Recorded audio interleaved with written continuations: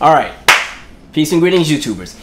Edward Blum, you tried it. Now, before I get into my main subject, I want to read this article and then we're going to talk. This is coming out of the Atlanta Journal Constitution. And mind you, this is just from a few hours ago. But by the time this video uploads, it might be about a day old, but still, it's relevant to everything we're talking about.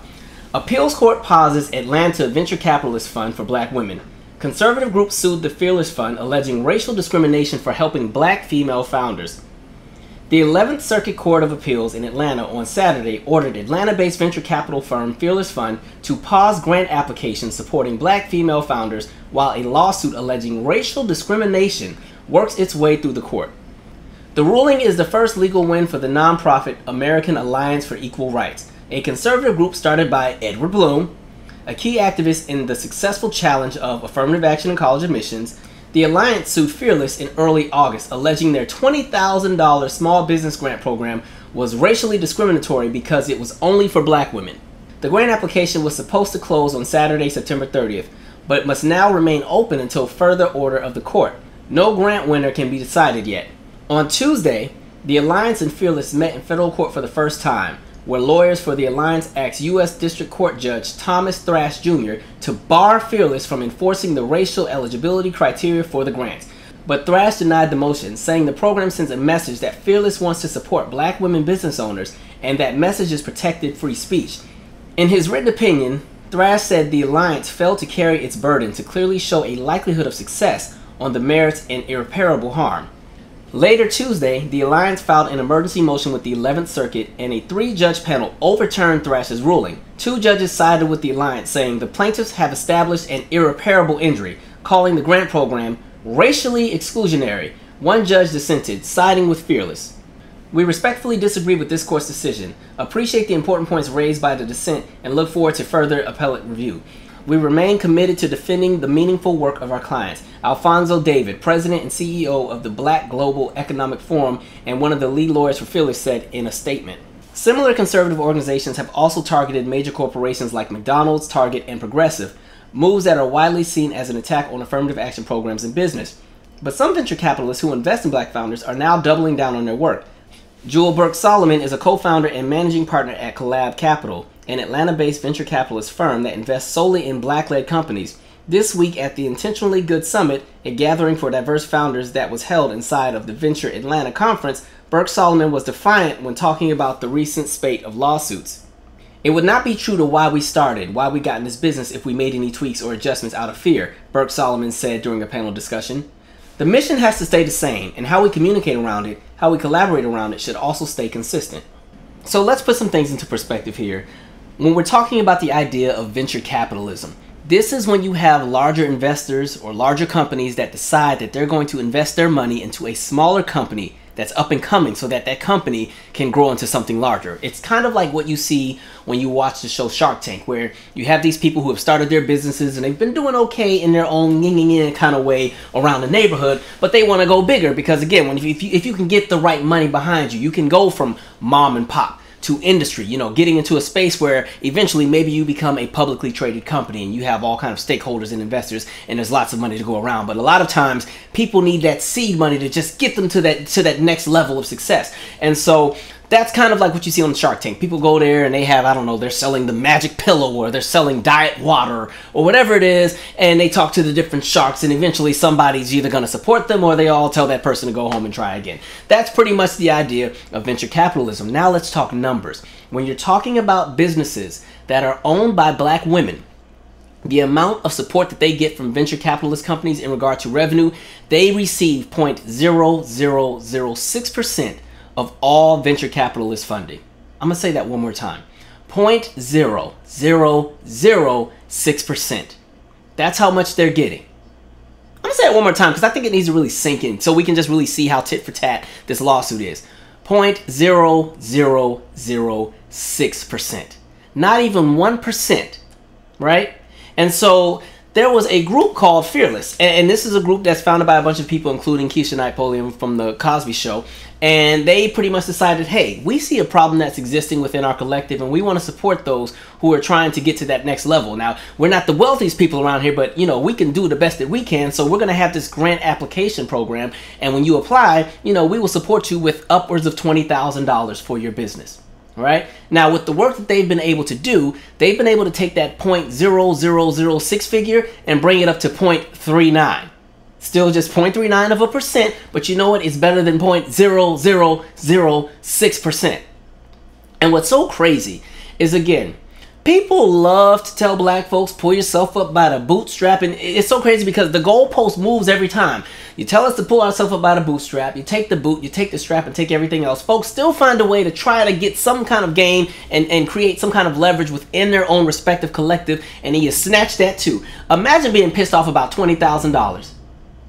Now, I'm not trying to sound like I'm super rich or anything, but in the business world, $20,000 is not a lot of money. Okay, they're doing the best that they can, but even that is too much for somebody like an Edward Blum to see black people get. $20,000 to me, that that's like a when you're talking the big companies that got the real money, that's like a fifth of the budget for the Christmas party. That's just the open bar. All right, in, in, real talk, that's barely enough for your freshman year at undergrad, depending on where you go. And so, this is such a silly lawsuit because it's almost like trying to sue for the water that splashes out of the pool. Like that's how petty this is. But again, it goes back to what I've been saying on this channel for a really long time where you have a lot of people who are working to cement things into place. You have a lot of people who want to ensure that the status quo is maintained. And when we're talking about the status quo, you're talking about a system of anti-blackness backed by white supremacy and pushed through policy and law. And so that's what we're continuing to see all the time. So this leads us to pretty much the main person of this video, Edward Blum. Right? So when we get to Edward Blum, let's have this wonderful discussion, shall we? By the way, for those who follow me, if you've been watching all my lives, this is a rehash, to be honest. The last four or five videos we've talked about Edward Blum just because there's been so many cases in litigation. So for those who sit through my super long two or three hour lives where we talk about 10 or 15 different subjects, you're welcome to stay, but this is kind of like a rehash. You guys have already had perfect attendance in class, so if you want to want to check out of this one, that's perfectly fine. But for those of you who just got here, we're about to go down this rabbit hole. So again, what you're seeing is what I like to call punitive entitlement. This is when you have people who don't get their way, and because of that, they want everybody else to suffer. And they have a vengeance, and they continue to move on that vengeance. But somebody like an Edward Blum is still pissed off. He will not let things go. This is kind of like when a kid that's not really great doesn't make the football team.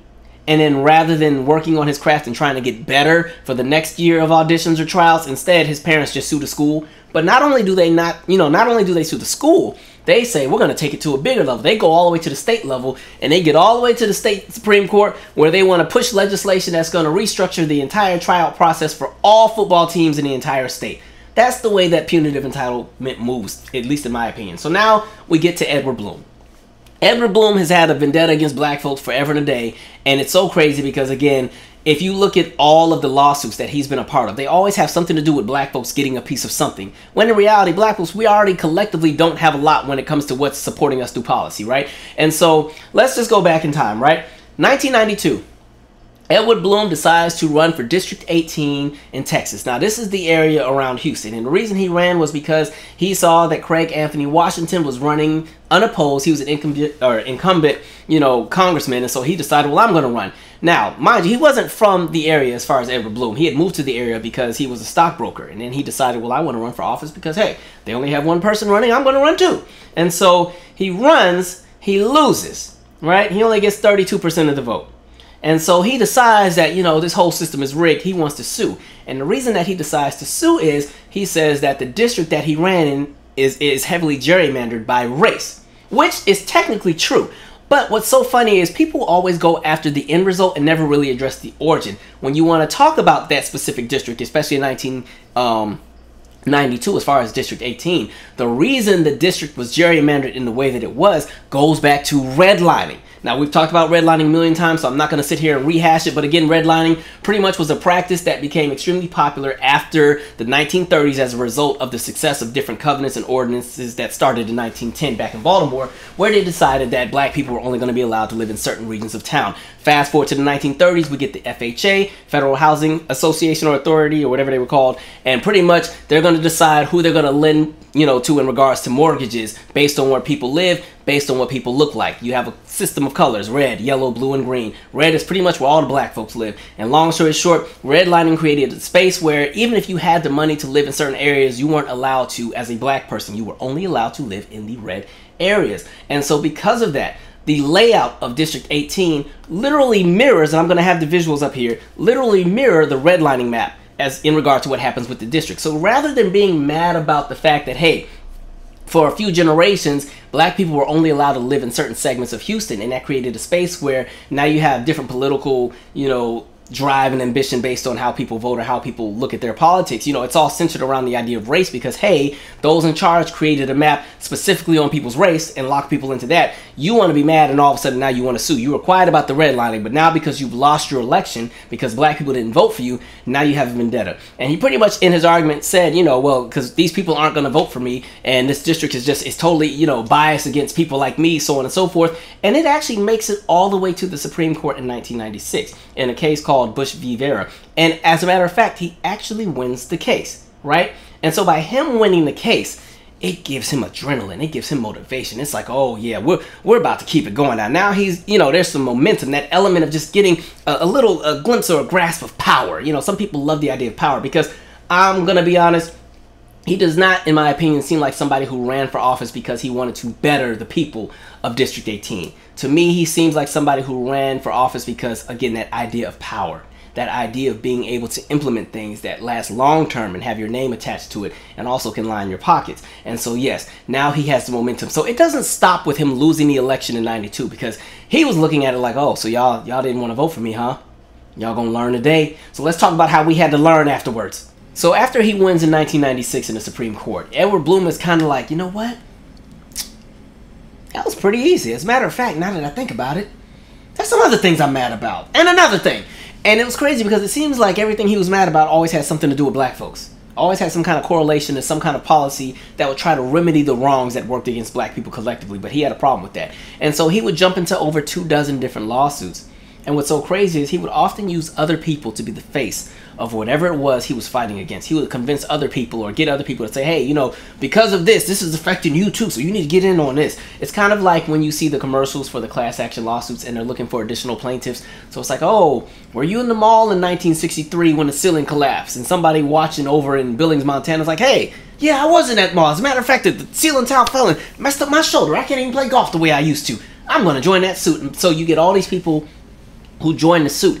And the thing about when you have these larger lawsuits, you have a better probability of it making it to the Supreme Court after it's going through the rounds and through the appellate court and everything like that. Understand the Supreme Court does not see every case. And so you're in this big giant pool of other people who are all fighting and clawing, trying to get to that top notch Supreme Court level because, again, once the Supreme Court makes a ruling, it's the law of the land. And so when you can have a case with a bunch of plaintiffs and there's a whole lot of money that's leveraged in the conversation, then yeah, you have a higher probability of being put on the docket with within the Supreme Court. And so that's kind of been his move for the last 30 years, jumping into all of these different cases. And so one of the cases I want to jump into, I'm not going to go through all of them, but I'll go through a few. One was the Northwest Austin Municipal Utility District number 1 versus Holder. Now, this correlates back to when we talk about the Voting Rights Act, right? So we got to backtrack. We go back to the, the Voting Rights Act. The reason we had to have the Voting Rights Act was because, again, you had a bunch of different states that were just tied to a bunch of shenanigans when it came to making sure that black people couldn't vote, right? A lot of the states were in the South or the Midwest, but they had things like, you know, a poll tax, or you had to take a literacy test, or they wanted you to count jelly beans, or they would do all these different things, or they would have these random spontaneous hours for the polling stations and make sure that, you know, the polling stations close at 2 p.m., knowing that nobody gets off of work till 5. Just doing all of these different things to ensure that black people could not vote. And so this specific lawsuit targets Section 4 of the Voting Rights Act. I want to read a piece of what Section 4 is about just to put things into context, all right? Section 4A of the Act established a formula to identify those areas and provide for more stringent remedies when appropriate. The first of these targeted remedies was a five year suspension of a test or device, such as literacy tests, as a prerequisite to register to vote. So again, because you had about a dozen states that were acting like they didn't have any home training in regard to their practices when it came to voter rights, the federal government had to step in and say, okay, you know what? Y'all are doing a lot and clearly this is unconstitutional. So what we're going to have to do is we're going to have to kind of monitor how y'all do things to ensure that you guys are not breaking the law and that no citizens' rights are being violated. So, you know, this is this law in this bill that we're going to put out there to make sure that you guys are following these rules. And so this is where Edward Blum comes in because he had beef with Section 4A of that Voting Rights Act, where again, there's that five year ban on oppressive tactics when it comes to voting. And so he's like, you know what? I found this district in Texas that's great they don't have those problems with race. And as a matter of fact, I think Section 4A of you know the Voting Rights Act is unconstitutional because it's like a blanket statement for the entire state. The entire state doesn't have those kind of problems with race because we've moved on. We're post-racial. You know, we are a melting pot. We are a collective of just great Americans who are all happy. And so, yeah, I think that's unfair, and you can't blanket statement an entire state. So I think districts should be able to opt out of Section 4A because not all of these districts have the same problems that once existed way back in the day. And so it makes it to the Supreme Court.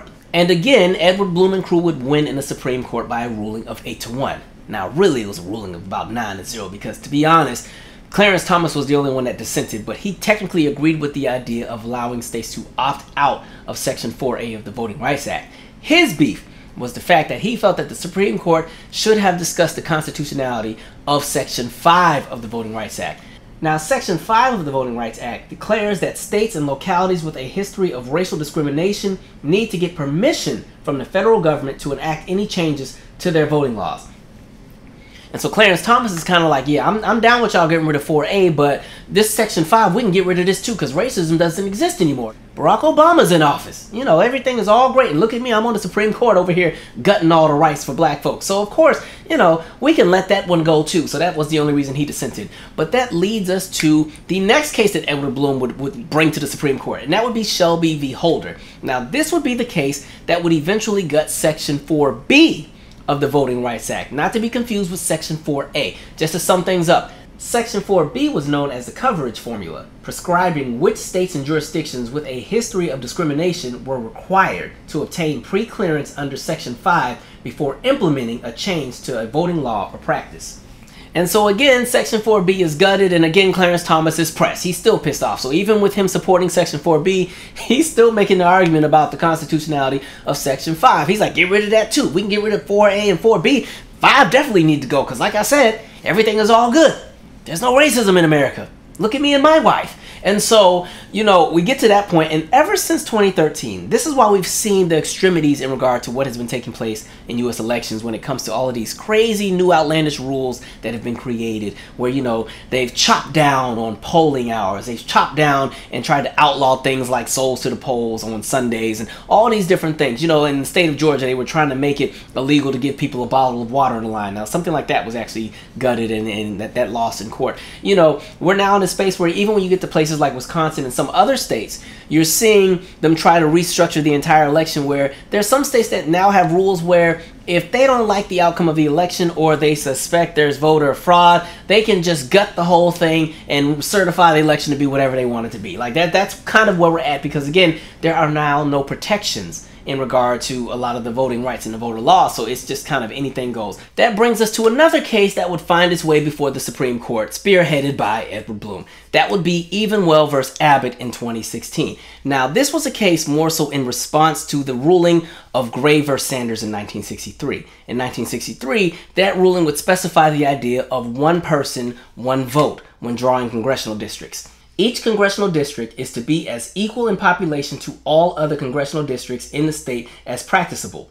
The boundaries and numbers shown for the congressional districts are those specified in the state laws or court orders establishing the districts within each state. And so again, when it comes to drawing congressional districts, the idea is to have the district drawn by the amount of people in the district. Edward Blum decided, oh, I don't like that idea. I think we should have the districts drawn and counted based on the amount of eligible voters. Now, the problem with that is when you're talking about drawing congressional districts, it's a conversation of resources and allocation because, again, this is going to be what determines how much is going to go to freeways, how much is going to go to hospitals, schools, water treatment plants, even the electric grid. This this would determine, you know, are we going to really spend the money to keep the, the, the electrical lines uh, above ground or are we going to put them underground so the power doesn't go out every single time a tree falls? You know, those kind of things. And so it's a conversation of an allocation of resources. And so by only making it a space where you only count the eligible voters, now you're going to have a discrepancy between wealthy and, and poor as well, in addition to the fact that not everybody is eligible to vote. Think of the different populations that cannot vote. One, children right? And so when you really get into a lot of these really big metropolitan areas, a lot of times the population is younger as far as the average population of the area because there are a lot of children. By taking children out of the equation when you're counting how many people are in a district in regard to resources, there's going to be a lot of cuts. There's going to be a lot of people who are left out. There are going to be a lot of people who don't receive the same amount as opposed to a district that might be much older in regard to average age and may also have more eligible voters. They're going to get a larger piece of the pie. In addition to that, we have to talk about the judicial system and the fact that there are a lot of people who have lost their right to vote. And when you talk about how the judicial system in the prison industrial complex has disproportionately affected black people, that leaves a lot of black people out of the conversation when it comes to eligibility in voting, right? And then in addition to that, no matter where you stand on the conversation, conversation of immigration, that would also leave out people who are undocumented. And again, this is a conversation about who you're counting in, in the district. When you're talking about resources, you want every single person in that district counted to ensure that the resources that come to your district are adequate and enough to supply and ensure that everybody is taken care of. Again, when it comes to hospitals, how many, you know, how much is going to be invested into grocery stores in the area, well, how much is going to be invested into libraries and any kind of public resource that everybody uses. All of that is a conversation of resources. And so by only allocating things to just eligible voters, that creates a space where a minority population makes the rules for everybody else. Because also understand voting in america uh, americans don't vote anyway to be honest as far as percentage wise this is not a, a high performing voting country. There are some districts where the voting rate is only 10 or 11 percent depending on where you live. And recognize that 10 or 11 percent usually is the elite demographic within that voting district. So again this was another idea but in this case he actually lost so that was thrown out. But it didn't matter because he had other things going because in the same year there was fisher versus the university of of Texas. Now we've revisited this one as well. This is another one where again he he had right, and so this was an affirmative action case. This is from 2016 as well. Now you had Abby Fisher, who again she was pissed off because she didn't get into her school, and she was convinced that it was because black people were in her seat. I'm gonna go to the text before I go any further. In 2008, the year Fisher sent in her application, competition to get into the crown jewel of the Texas University system was stiff students entering through the university's top 10 program, a mechanism that granted automatic admission to any teen who graduated in the upper 10% of his or her high school class, claimed 92% of in state spots. Fisher said in news reports that she hoped for the day university selected students solely based on their merit and if they worked hard for it. But Fisher failed to graduate in the top 10% of her class, meaning she had to compete for the limited number of spaces up for grabs. She and other applicants who did not make the cut were evaluated based on two scores. One allotted points for grades and test scores. The other called for a personal achievement index, awarded points for two required essays, leadership, activities, service, and special circumstances. Those included socioeconomic status of the student or the student's school, coming from a home with a single parent or one where English wasn't spoken, and race. Those two scores combined determined admission. Even among those students, Fisher did not particularly stand out, Court records show her grade point average of a 3.59 and SAT scores of 1180 out of 1600 were good but not great for the highly selective flagship university. The school's rejection rate that year for the remaining 841 openings was higher than the turndown rate for students trying to get into Harvard. As a result, university officials claim in court filings that even if Fisher received points for her race and every other personal achievement factor, the letter she received in the mail would have still said no. It is true that the university, for whatever reason, offered provisional admission to some students with lower test scores and grades than Fisher. Five of those students were black or Latino. 42 were white. Neither Fisher nor Blum mentioned those 42 applicants in the interviews, nor did they acknowledge the 168 black and Latino students with grades as good or better than Fisher's who were also denied entry into the university that year. Also left unsaid is the fact that Fisher turned down a standard UT offer under which she could have gone to the university her sophomore year if she earned a 3.2 GPA at another Texas university school in her freshman year.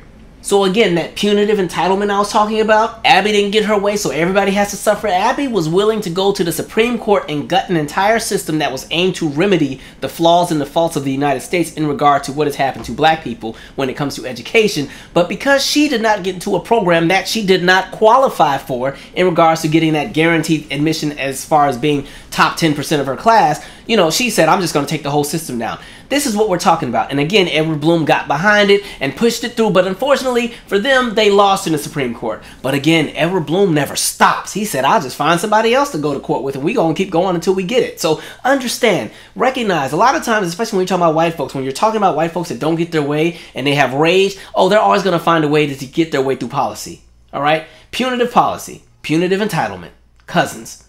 In addition to that, like I've said, he has all of these different groups and stuff. So he's also president of the Alliance of Fair Board Recruitment. Now, pretty much, this is another group that has a bunch of bits and pieces in litigation right now with the court system because their goal is to pretty much fight any kind of policy that requires that companies that are publicly traded have a diverse board of directors. Meaning, you know, that idea of diversity. We're going to cut all that. Y'all, that shouldn't be a requirement. Companies should just be able to do what they want. So they're suing for that. They're also suing the state of California in regard to the conversation of quotas based on race and gender, when in reality, that's already been outlawed in California since 1978. But they're going tit for tat and finding any kind of policy that they think falls under the idea of a race quota or a gender quota, and they're suing against that too. And so just recognize you're seeing the nonsense that exists, but it doesn't stop there because then we get to modern times where you have, again, another group he's behind, the SFA, Students for Fair Admission. This is how we just saw affirmative action get gutted with that whole conversation around what was happening over at Harvard University.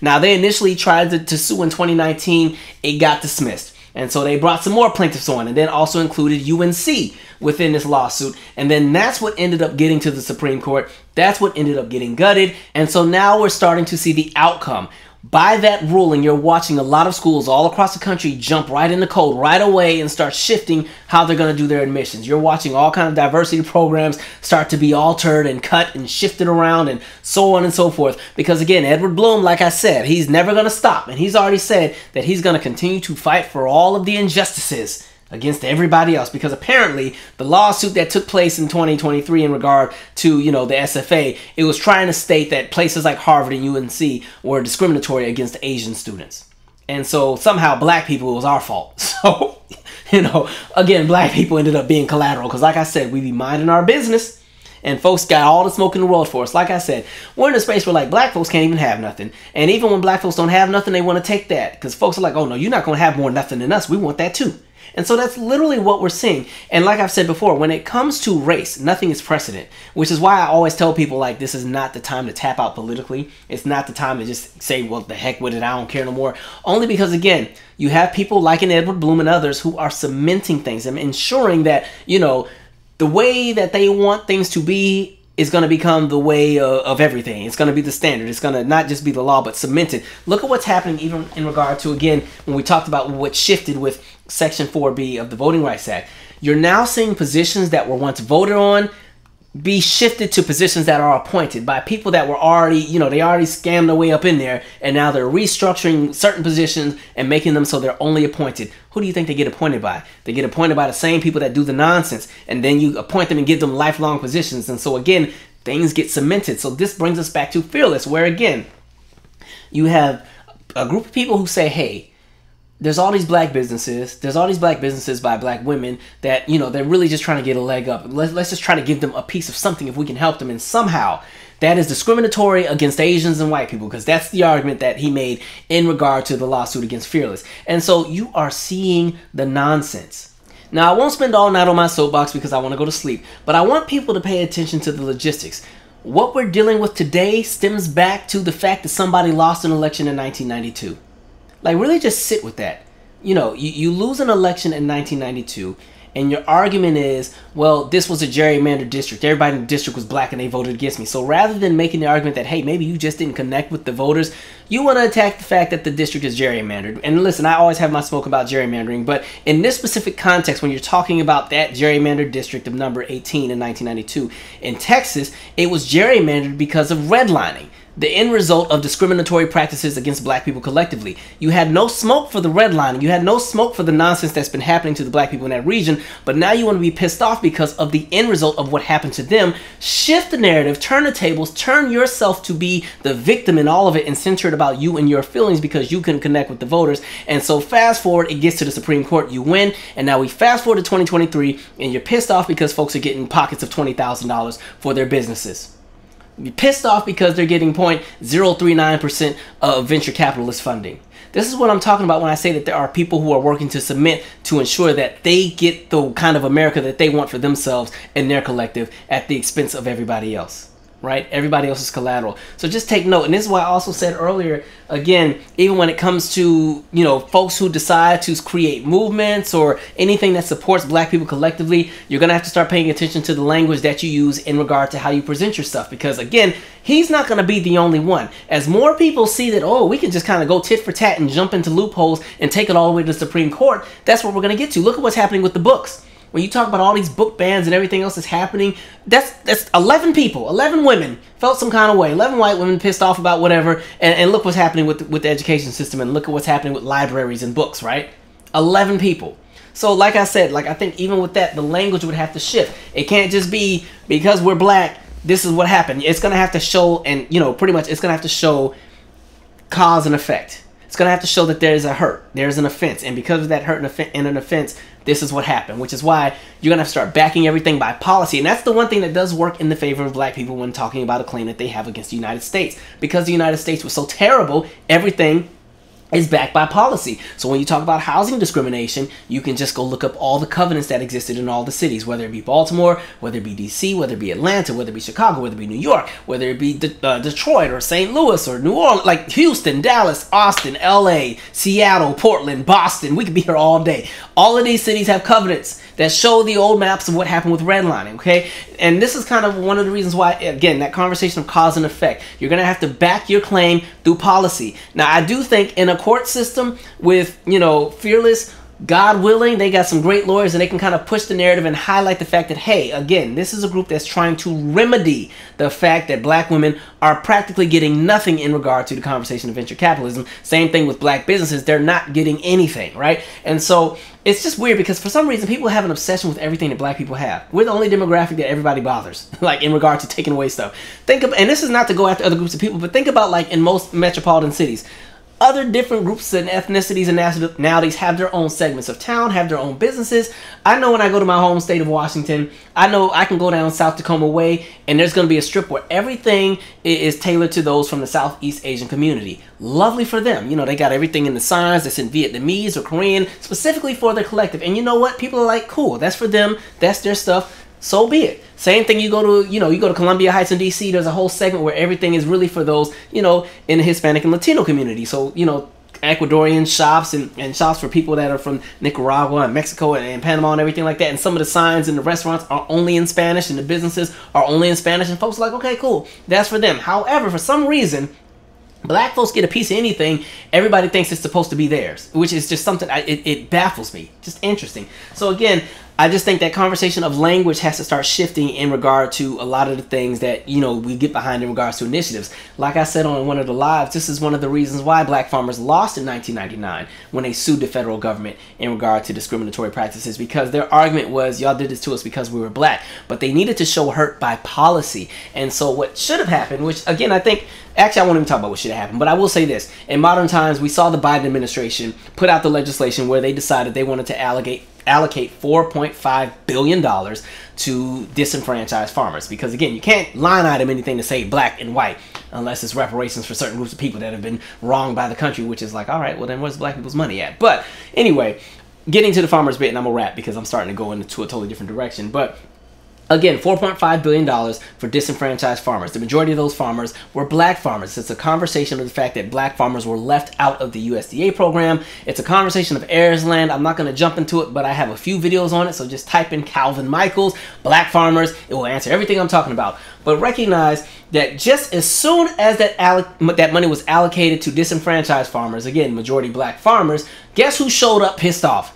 White farmers. They said, "Oh no, wait a minute, y'all not getting no 4.5 billion because we we should get that too." Mind you, they already got a settlement and, a bailout from the Trump administration because when the Trump administration decided to jump into all of the tariff wars with China, American farmers were getting their behinds kicked. And so they had to bail out American farmers, but it was only farmers that qualified as USDA farms. And a lot of black farms do not qualify as USDA farms for a conversation again with heirs land and titles. That's a whole nother conversation. We ain't going there tonight. And so white farmers already got their bailout. They got their check.